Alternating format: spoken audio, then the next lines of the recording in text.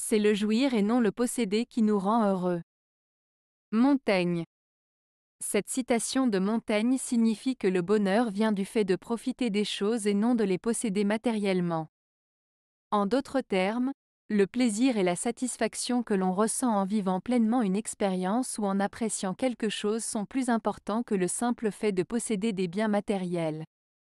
Le bonheur réside dans la jouissance de l'instant présent plutôt que dans l'accumulation de possessions.